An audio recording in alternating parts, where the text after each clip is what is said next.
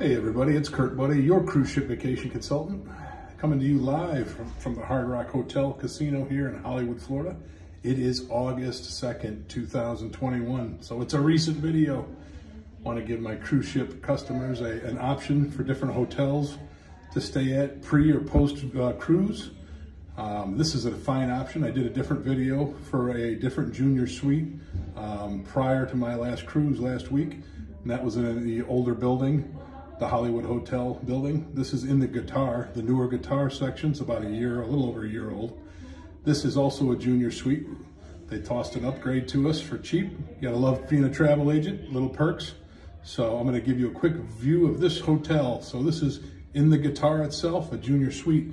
We're on the 27th floor, number 12701. You see where we're staying at here.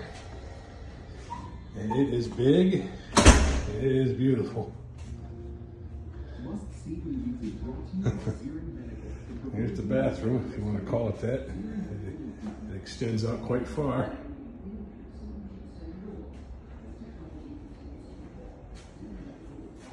Of course, big closets, everything. There's private toilet back there.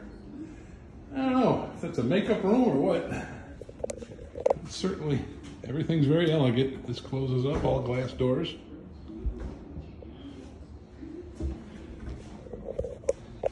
Huge two-person tub here. Overlooks the glass balcony.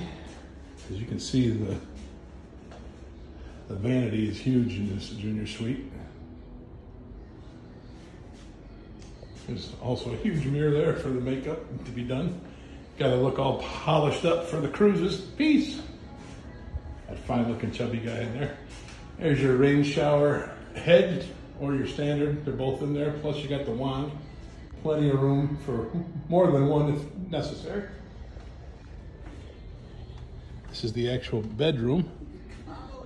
Got a 70 inch TV flat screen mounted up there. Look at those floor to glass ceiling views from the 27th floor. Very impressive.